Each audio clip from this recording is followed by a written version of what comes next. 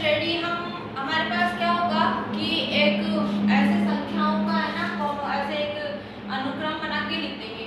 जैसे मैंने माना से लिख दिया, वन, थ्री, फाइव, सेवन ठीक है? तो ऐसे संख्याओं का एक अनुक्रम बना दिया। अब हम उनसे पूछेंगे कि बताओ, क्या ये समांतर श्रेणी में है या नहीं है? आपको ही चेक करना है ठीक है तो आप चेक कैसे करोगे देखो समांतर श्रेणी ऐसी श्रेणी होती है जिसमें जो ये संख्या है ना एक दूसरी संख्या। तो दोनों संख्याओं के मध्य का अंतर हमेशा क्या होता है? समान होता है। ठीक है? कैसे? देखो, जैसे मानो, मैंने इस तीन में से इस एक को माइनस किया। तो कितना आया? दो। फिर मैंने इस पाँच में से तीन को माइनस किया। कितना आया? दो। फिर मैंने इसको किया, सात में से पाँच को माइनस किया? कितना आया? दो। यानी कि सभी के बीच का अंतर क्या आया? दो। सभी के बीच का अंतर समान आया। तो अपन कह देंगे कि अगर यह अनुक्रम क्या है? समांतर श्रेणी में है। ठीक है? इसी तरीके से मानो। अब ऐसे दे दिया। One two four five six ऐसे दे दिया। और बोला कि इसको चेक करो कि ये समांतर श्रेणी में है या नहीं है। तो देखो, दो में से एक को माइनस किया कितना आया? एक।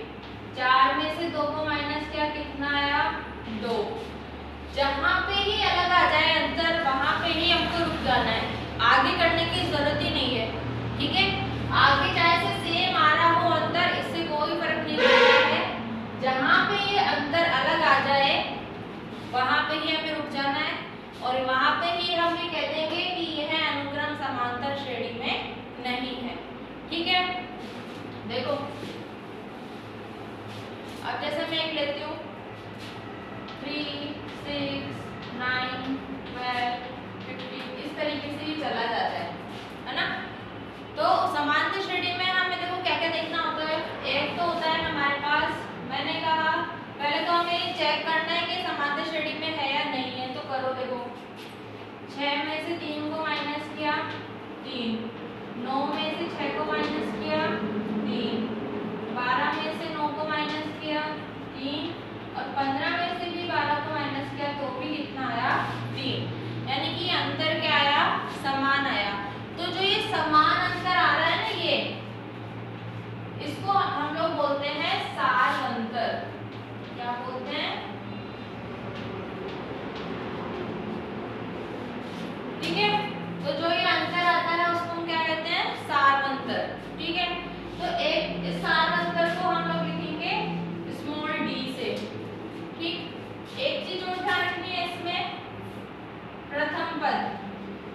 तो ये तो हम लोग सभी बता सकते हैं कि प्रथम पद मतलब जो फ़र्स्ट फ़र्स्ट में प्रथम पद होता है।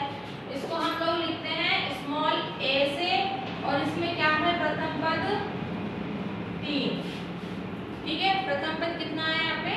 तीन अब आपको प्रथम पद पता है, तीन है। आपको ये भी पता लग गया समांतर श्रेणी में है। इसलिए सार अंतर भी आपको पता है डी कितना है? तीन। सार अंतर भी हमारे पास कितना आया तीन मैंने कहा कि इस समांतर श्रेणी के आगे के चार पद लिखिए ठीक है लिखेंगे अब।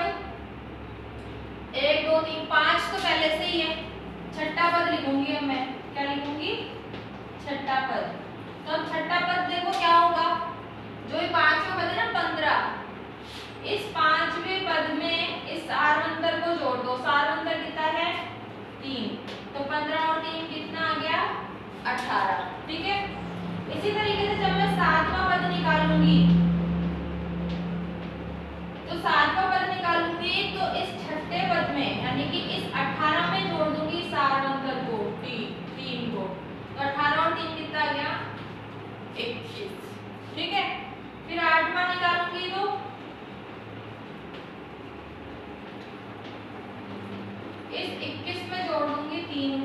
तो इस 21 में